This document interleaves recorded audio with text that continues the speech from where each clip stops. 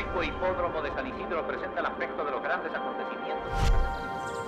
Su nombre, coreado por miles de gargantas, es la síntesis de su estirpe de campeón, de las pampas que lo vieron crecer y de los hombres que lo prepararon para la victoria.